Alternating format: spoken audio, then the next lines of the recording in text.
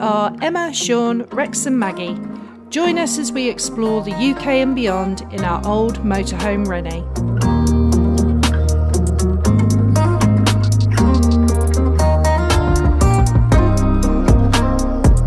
We finally left Loudenvielle and headed up the valley towards the tunnel, which would take us through to Spain, enjoying the scenery in the sunshine.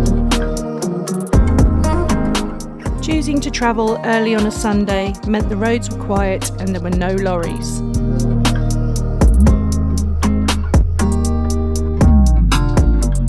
The tunnel works on a one way system with traffic lights.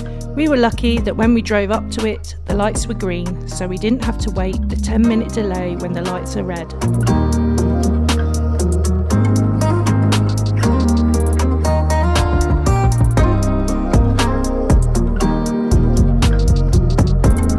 Once through the tunnel and into Spain, the road snakes down the beautiful valley alongside the Rio Barrosa and the Rio Cinca.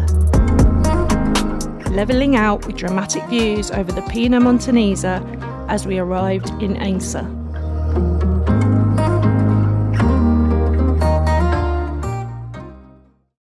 Good morning. Welcome to Ainsa. Um, we arrived yesterday to glorious sunshine and 27 degrees.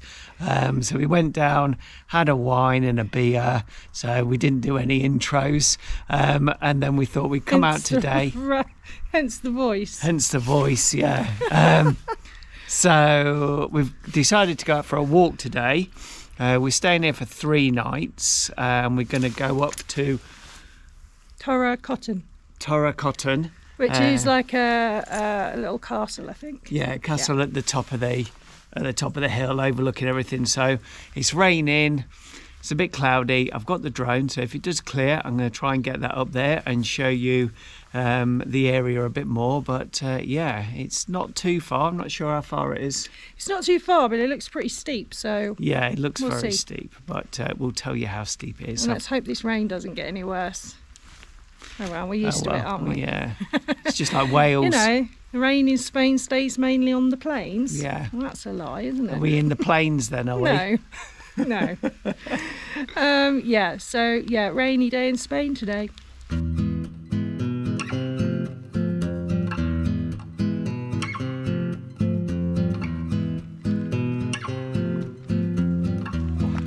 It's a bit loose this rock.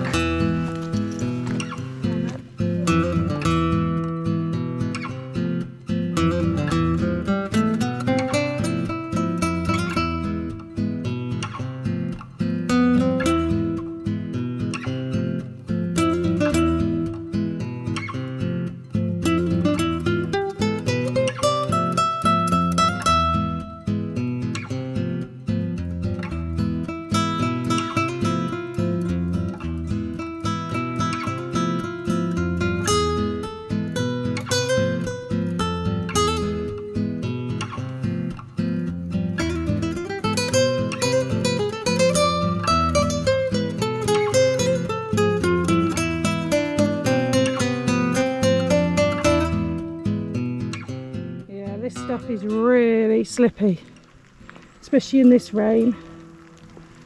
Oh, shit. Maybe we should wait for a few minutes. See if that rain passes. We could do. I mean, how far are we from the top? I don't know. You're gonna find yourself a little bed there, Moo. A little perch. Oh dear. Let's give it a go. Okay. Yeah. Well, that was a pretty steep climb.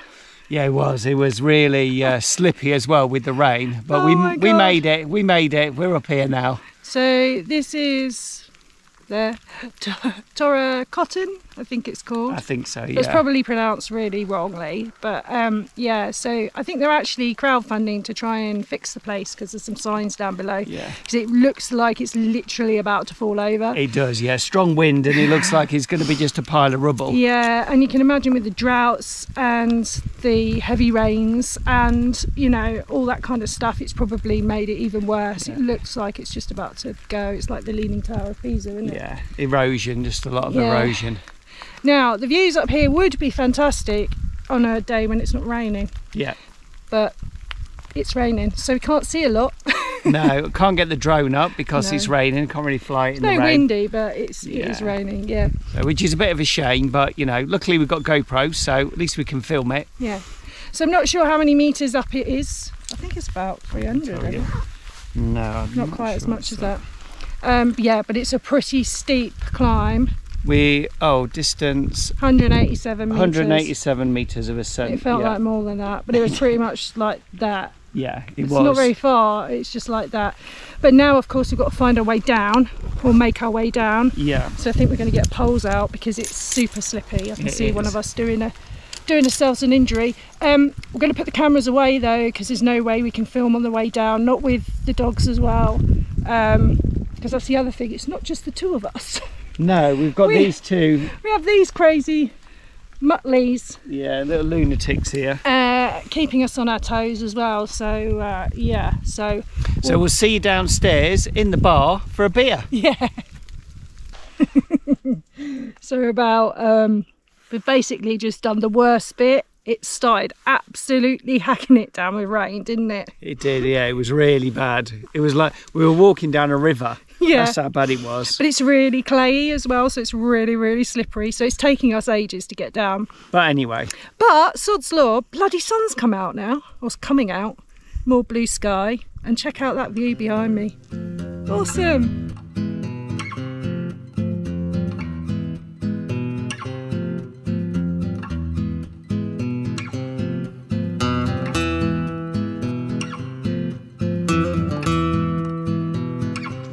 Right, come then, Rex. Let's walk down this river, which used to be a path, which is now A clay and rain stream. stream.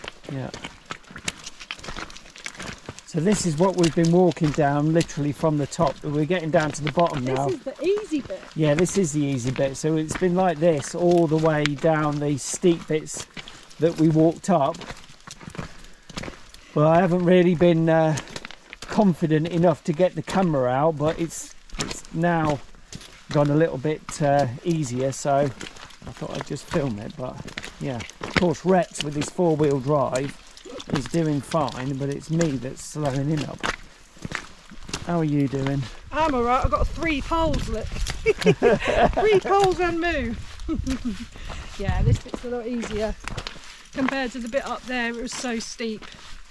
And the rain's actually um, helped in a way because it's meant that it's actually stickier It's washed all of the Yeah, clay off, off the, the stones, stones. hasn't it? and then the stones are quite grippy um, and you can kind of get quite a lot of grip so it's not it's actually better than it looks okay so we're going into a steep bit now i think Shaun you might want to have your Yeah. pole back Yeah, it's looking a bit dodgy now. So, as we've said before, we'll see you in the pub for a beer. We if we en- if we ever get there. if we ever get there. So we made it back to the van. Doggies are tied to a tree waiting for their bath. And i thought i'd just show you where we've just been. Um, i'm not sure if you'll see it on the gopro but i'll just back up a little bit here and turn the camera around and we've just been up there so and you know typically the sun's out now so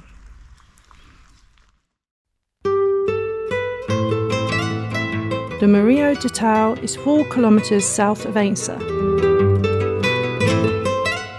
The camping area has a few flat pitches and has all the usual campsite facilities. We were able to use our ACSI card to get a reduced rate.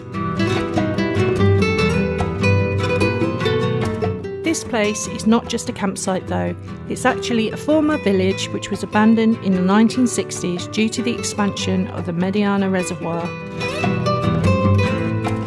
The village was later purchased, restored, and turned into a holiday village.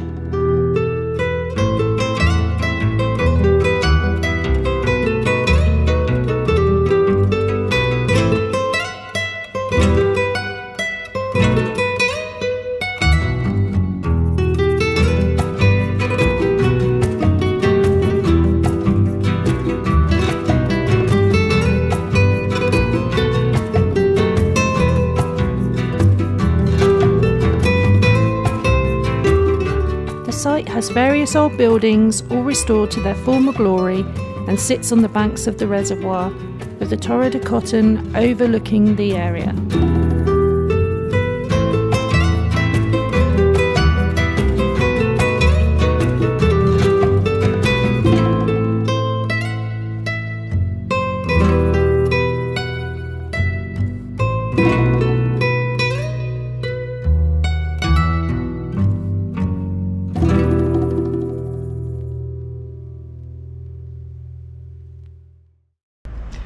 Morning.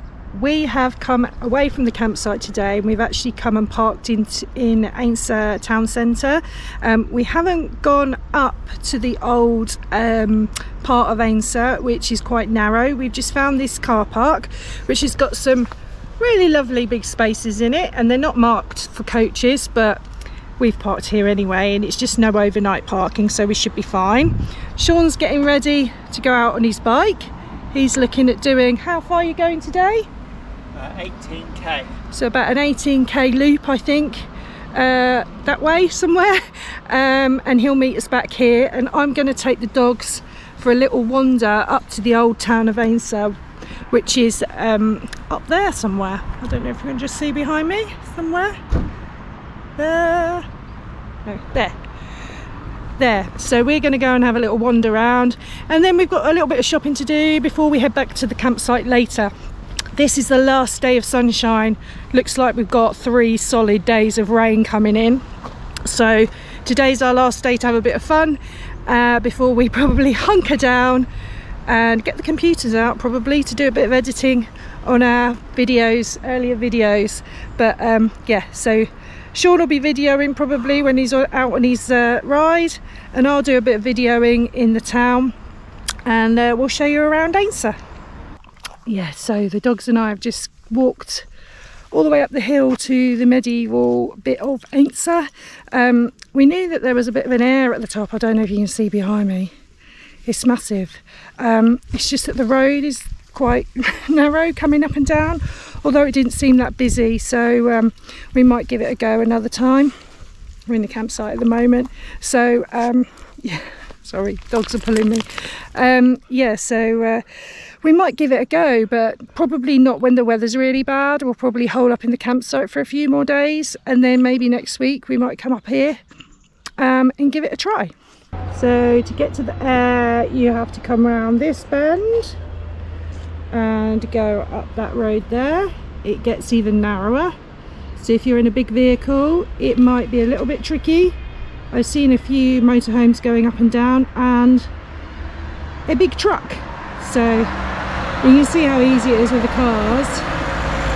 Two cars are fine but motorhomes definitely a bit more tricky The medieval hilltop village of Ainsa has a beautiful open square, the Plaza Mayor, with traditional stone buildings housing cafes and restaurants.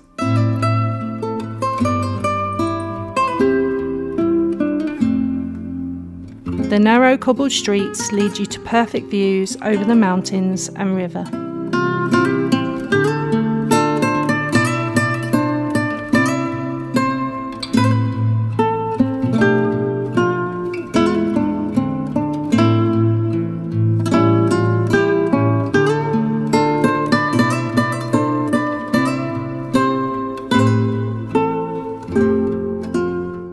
Also lead you to the church and historical quarter, which has now been declared a site of historical and artistic interest.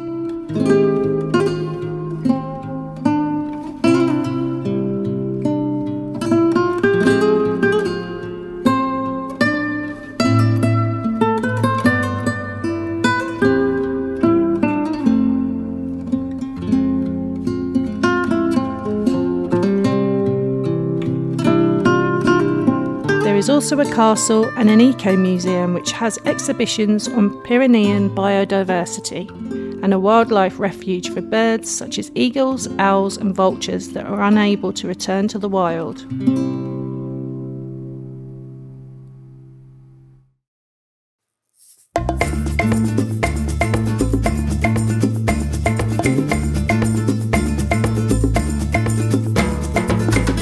Ainsa was on the Enduro World Series for many seasons and is a world class mountain bike destination.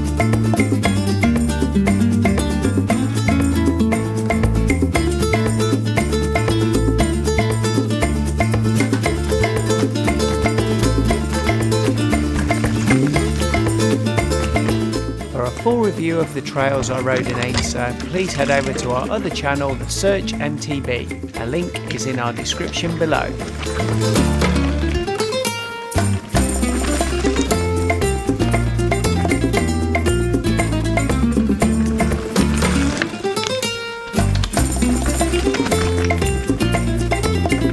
Back to the car park.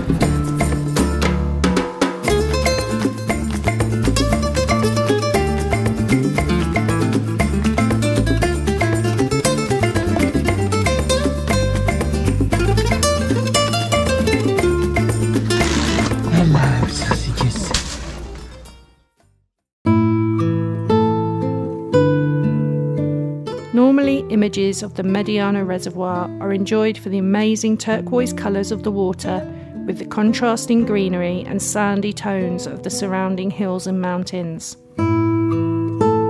Today, the reservoir is almost empty, dry, cracked, and barren, with little signs of life.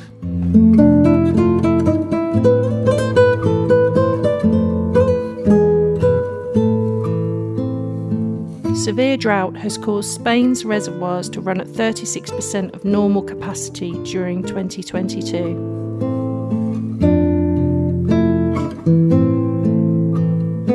And parts of Spain are at their driest for over a thousand years.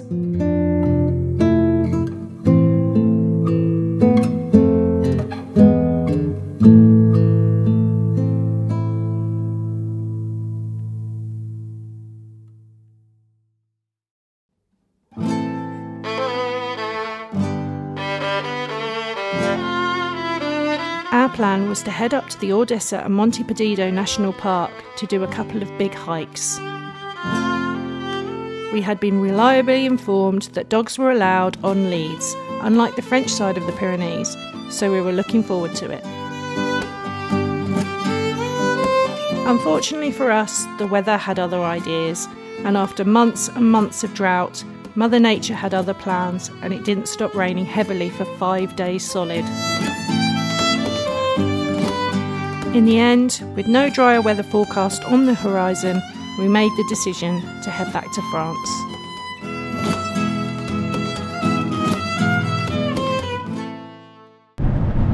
I'm not sure if you can hear me okay, but um, just wanted to let you know we're making a mad dash uh, back into France.